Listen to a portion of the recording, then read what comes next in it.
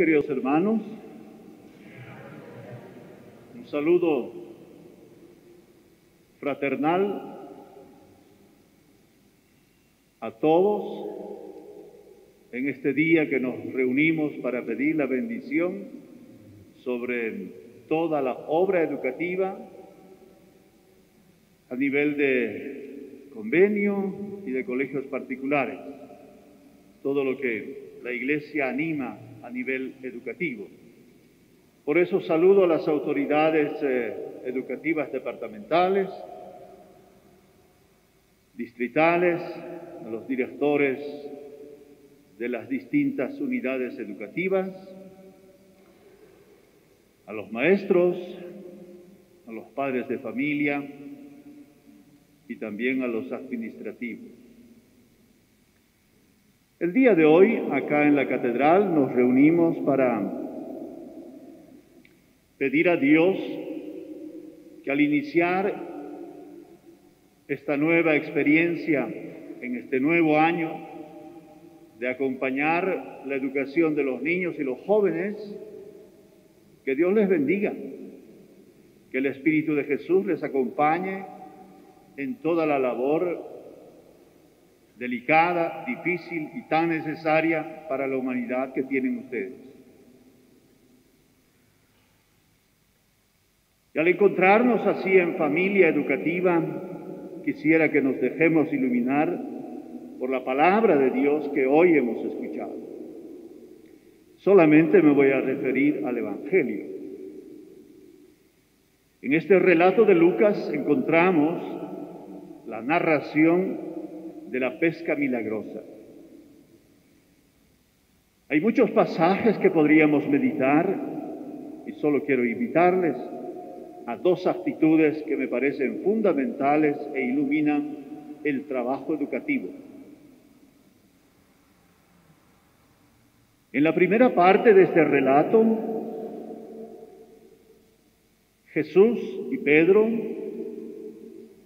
se encuentran establecen un diálogo. Jesús le dice,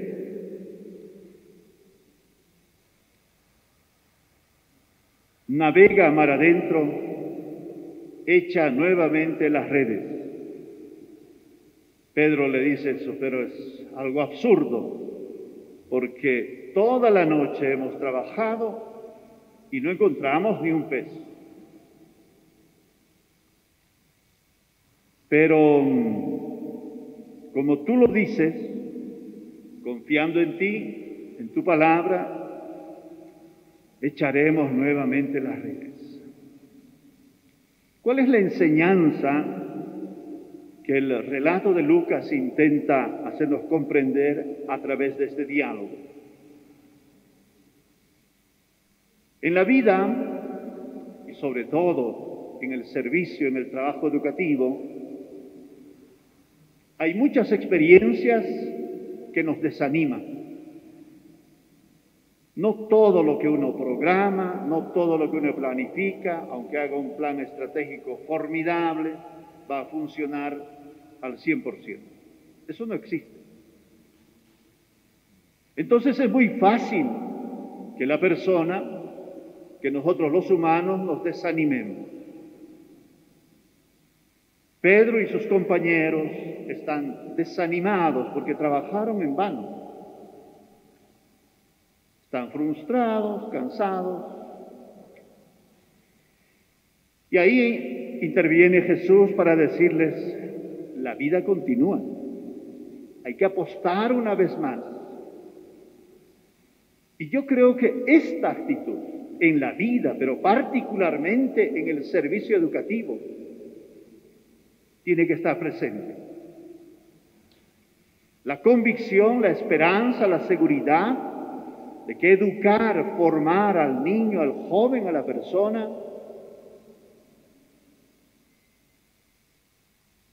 es continuo. No podemos encontrar ni un niño, ni un joven, ni un profesor, ni nadie que está en el ámbito educativo que no pueda formarse. Todos podemos formar.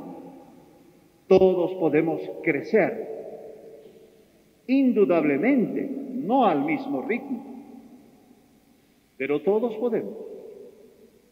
Entonces, esto es lo que Jesús le enseña a Pedro. Ante las experiencias negativas, no sé, profesores que no responden o directores que no planifican o estudiantes que ahora en este tiempo de la educación virtual, que no entran a participar por las redes o por los servicios eh, que se suele tener, tantas otras dificultades. Uno puede decir, con esta persona es muy difícil, casi imposible, entonces ya, ponerlo a un lado. Jesús dirá, no, hay que insistir. Esa es nuestra responsabilidad. Todos podemos ser formados, todos podemos crecer, todos podemos avanzar en la vida. Y la tarea educativa creo que es eso. Despertar las potencialidades, descubrir las potencialidades y que cada niño lo haga, que cada joven lo haga. Los maestros son los motivadores para que esto ocurra. Y en la parte final del relato dice, después de haber tenido una pesca grandiosa, Pedro dice, Señor, aléjate de mí, porque soy pecador. Y Jesús le dirá, Pedro, no temas, de ahora en adelante serás pescador de hombres. Este es otro desafío para la obra educativa, que en el proceso educativo no tengamos miedo. Ustedes maestros son testigos de tantos niños, de tantos jóvenes que tienen miedo, sobre todo antes de las pruebas. Cuando uno tendría que ir feliz cantando la prueba, ¿por qué tener miedo si uno es estudiante? Entonces, en el proceso educativo hay que trabajar para que no exista el miedo, sabiendo que el miedo es parte constitutiva de la condición humana. Pero ojo, el miedo nos paraliza. El miedo no nos permite crecer integralmente. No nos permite desarrollar todas nuestras capacidades. Entonces, en el proceso educativo no conviene que exista el miedo. Por supuesto, la responsabilidad sí, pero el miedo no. El maestro es un amigo.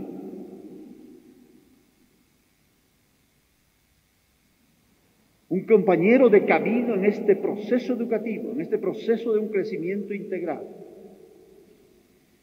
Entonces creo que este relato de la pesca milagrosa nos entrega enseñanzas fundamentales y necesarias para el proceso educativo que acompañamos. Y finalmente quisiera invitarles a que recordemos que hace poco el Papa Francisco, aquí no se ve tan bien, pero ahí está, el, el Papa Francisco invitó a toda la humanidad, no solamente a los que trabajan en cuestiones educativas, sino a toda la humanidad, a un pacto global educativo, para lograr una calidad educativa capaz de transformar el mundo actual. Creo que todos somos conscientes que nuestro mundo no está una maravilla. Demasiada violencia, demasiada dependencia de la economía, demasiada dependencia de la política.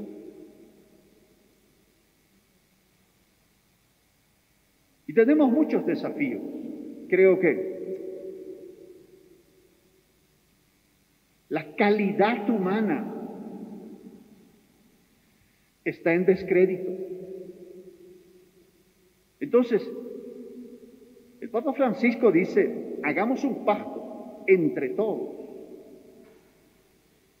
para que apostemos a una calidad educativa.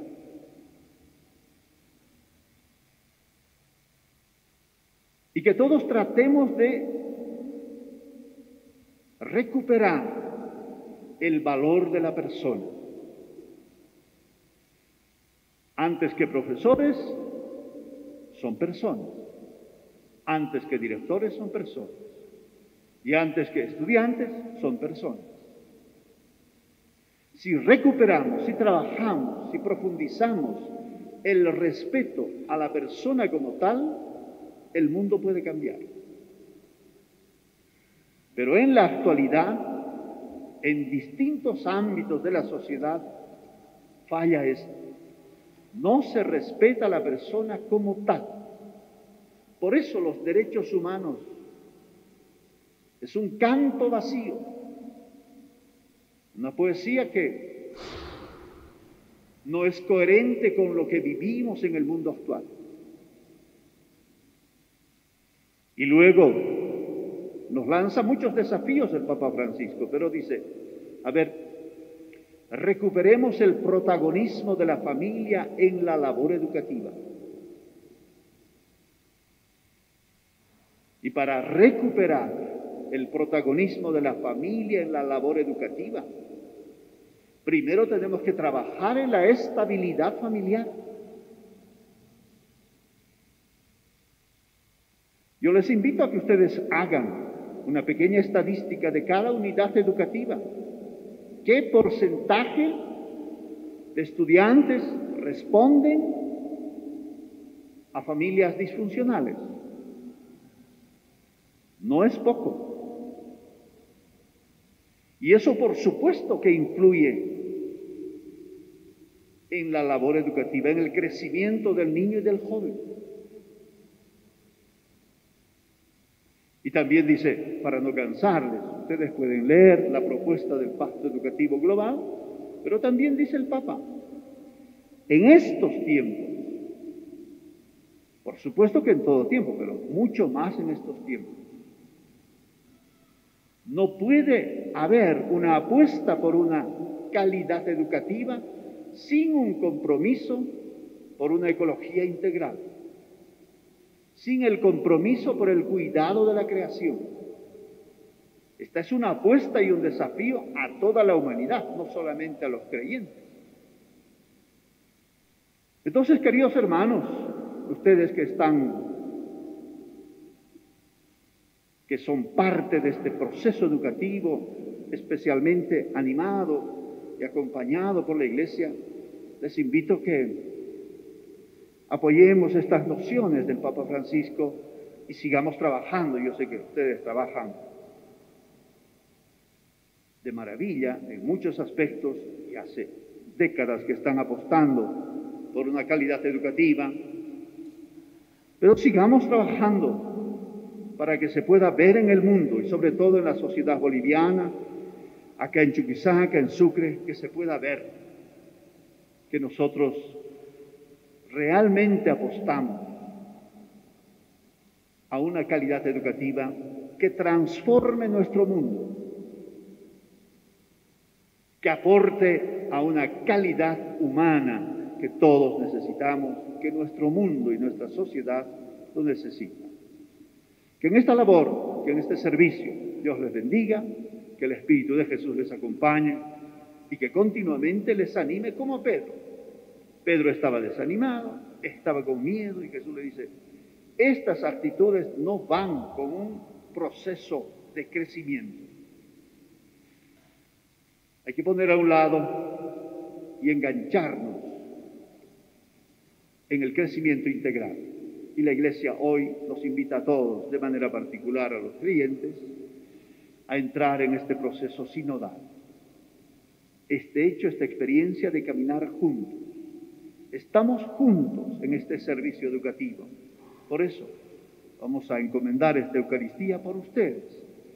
Y que el Espíritu de Jesús, que siempre es crecimiento, desarrollo, que siempre es ir adelante, les acompañe en todo momento. Que las dificultades, las adversidades no los detengan. Por eso les invito a que juntos ahora renovemos nuestra fe rezando el credo.